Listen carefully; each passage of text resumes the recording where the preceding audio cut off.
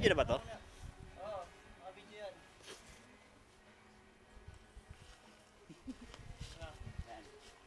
Kami yan mga dakilang pintor. Ako si Picasso. Ako naman si Da Vinci. Da Vinci. Kaya kami, ah, kami mga profesional na, na pintor. Yan mo, kahit sa mga, hindi lang kami pang mga canvas, kundi pang mga pintuan din kami, mga bakuran, pwede lang. Mga stroke pa lang, eh, pang professional na eh. Oh. Mamaya ipe-paintingan namin ko ng mga Mona Lisa. Mona Lisa. Magka, alam mo magkano rate namin? 2,000 pesos. Kano yun lang? Tingnan mo, ginawa lang namin to ano ah, madalian lang kasi professional na kami. Diba? Yung Mga stroke na yan, oo. Parang ano ka lang. ah.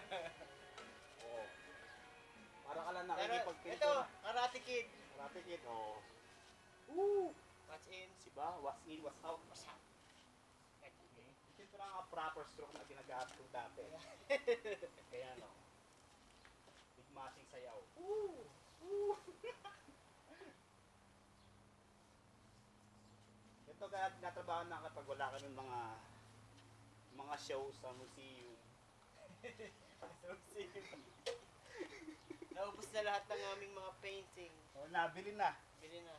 Nabenta na yung mga paintings namin kaya pinagtsagaan namin itong pintuan. Hindi ko alam kung pintuan ba to. Kaya ito may butas, may uwang dito. Diyan mo nalaman kung may tao o wala sa labas ng pintuan. Sisilip ka. Yan ang tawag nilang pep hole. Diba? Full body pep hole kitang dito. Lahat ng bakura pinintara namin. Lalagyan namin ito ng graffiti. Graffiti, ah, Mga hip-hop. mga abstract. Abstract. yung mga pinagsama-samang talento, kaalaman ni Da Vinci at ni Picasso. Patawagin namin lahat ng mga gangster. Magic 5, Acro, Tao Gama. Tatanggalin natin. Para mag-graffiti ka. See? We are the hardworking Kahit mga simpleng trabaho ay kinukuha namin. Pampalipas lang ba ng oras? Ano ba? Da Vinci. Ah, Picasso, okay na ba dyan? Ayan dito. Konting retouch na lang. Kasalam. Ito may maganda-gandang stroke ginagawa. Yun yung idea ko na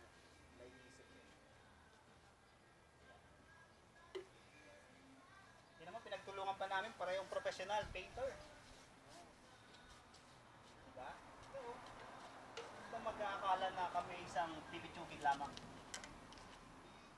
Isa kami professional at kagalang-galang na na pintor. Diba? Kahit pintuan, pinipinturahan. Kaya nga painter eh. Diba? Tarahan na natin yung pader. Pintura na natin yung pader. Natin kulay brown din yan, no? Mata ni, Kami ano, ang mga working boys. pati yung ano, yun, no? Yung cable niya, lagyan natin pintura. Pinuntura pati puno, no? Kasi, Yung boss namin eh, yun na, yung kliyente namin eh, nagpumasok muna. Si Boss Will, ina, iniimo muna sa amin yung trabaho to dahil alam na may tiwala siya sa amin dahil kami sa mga profesional na pintor.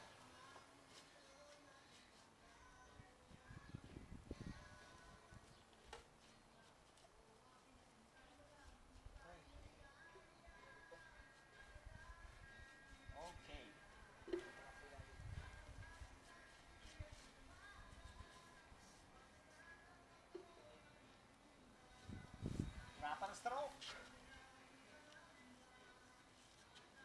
Yan, okay.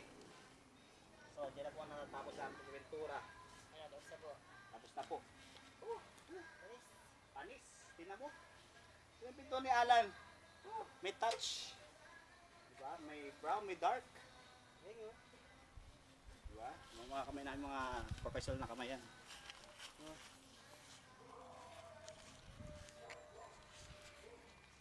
O yan, si Alan, tinan kamay. Yan yung pininturahan namin. Yan. At ito yung bahay. Yan, see, nakita niyo yung pintura namin, ang ganda. Oh. Yan. Work of art. ah. Yeah. Woo. Madumi nga kamay ko. Madumi yung kamay ni ah, Picasso. So ako naman to, madumi rin kamay medyo. Mas professional ako kasi dinadumi yung kamay ko. Da Vinci. Ano yung bike mo? Ha? Natin brown. Tama na yan, okay lang yan. Ayan, okay. Picasso, tayo matapos na. Okay na ba? Woo, babayaran na tayo. Tig 50 mil. Badminton. Na mamaya. Ano, next, normally, mag-lawn mower kami. After this, kasi may, hindi lang kami painter. Hindi lang, daka, hindi lang kami nakita painter, dahil rin kami taga-lawn mower. Ang tamo. Yun ang trabaho namin dito. Sa Canada. Kaya nga hardworking Filipinos in Canada. Okay, bye-bye. See you later.